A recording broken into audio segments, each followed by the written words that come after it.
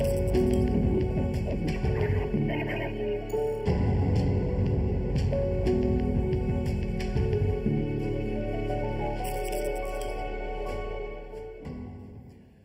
السودان حيث أفادت منظمات حقوقية بأن السلطات السودانية ما تزال تحتجز عشرات الأشخاص دون توجيه تهم لهم. وعلى الرغم من إطلاق سراح كثير من المعتقلين فإن العشرات ما يزالون قيد الاحتجاز بسبب آرائهم السياسية دون تهم موجهة ودون أن يسمح لهم أيضا بالمحاكمات أو بزيارات المحامين وسط مخاوف من تفشي فيروس كورونا داخل المعتقلات تزامنا مع تدني خدمات الجهاز الصحي في عموم السودان. معي للحديث حول هذا الموضوع الناشط الحقوقي والمحامي السوداني أستاذ ياسر محمد حسين من الخرطوم. أستاذ ياسر بداية حول أعداد هؤلاء المعتقلين التي تتحدث منظمات حقوقية أنهم ما زالوا محتجزين دون توجيه تهم لهم ودون أن يسمح لمحاميهم أو لذويهم بزيارتهم.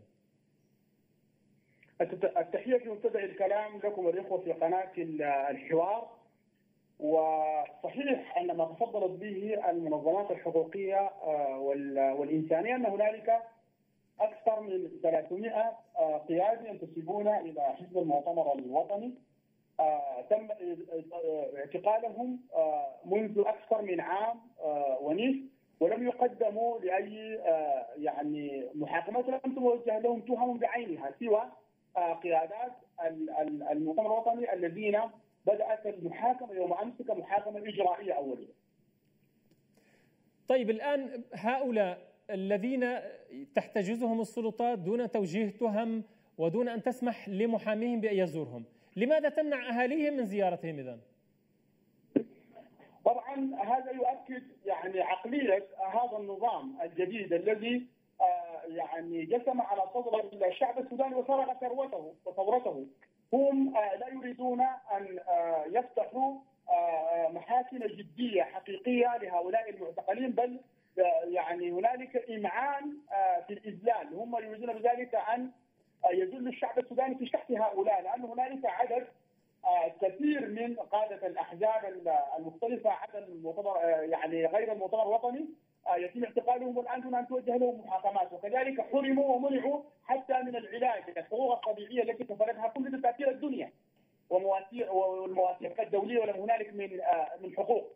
آه، هؤلاء يؤكدون كل يوم أنهم قد انقلبوا على هذه الشعارات التي آه، ساقوها منذ يومهم الأول. حرية سلام وعدالة. لا حرية الآن مكفولة ولا عدالة تحققت ولا حتى سلام أتى لأهل السودان.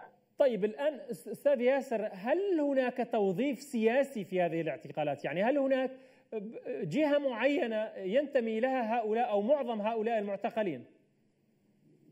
نعم هو الآن وضح يدع مجال للشك أن هذه التدابير التي طالت غابة الأحزاب السياسية الدكتور محمد علي الجزولي و آه، يعني الأمين العام للمؤتمر الشعبي الدكتور علي الحاج وكذلك آه، رئيس الشورى إبراهيم السنوسي وعدد كبير بروف قندور المؤتمر الوطني وأنس عمر. هنالك قيادات لأحزاب كثيرة جدا آه، لم يتم آه، لحد الآن آه، توجيه تهم بعينها، هذا يؤكد على أن هذه الإجراءات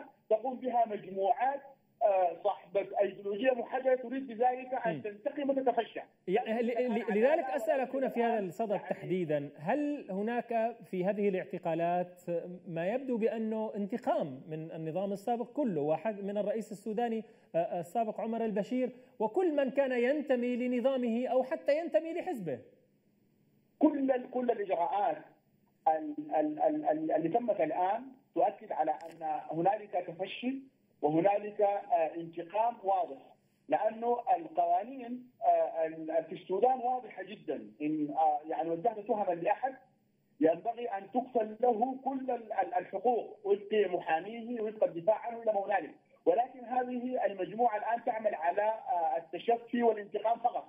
يعني لا نرى الآن أي بوارق لأمل في عدالة ولا في حقوق ولا ولا هنالك أشكرك شكرا جزيلا المحامي والناشط الحقوقي السوداني سيد ياسر محمد حسين كنت معنا من الخرطوم.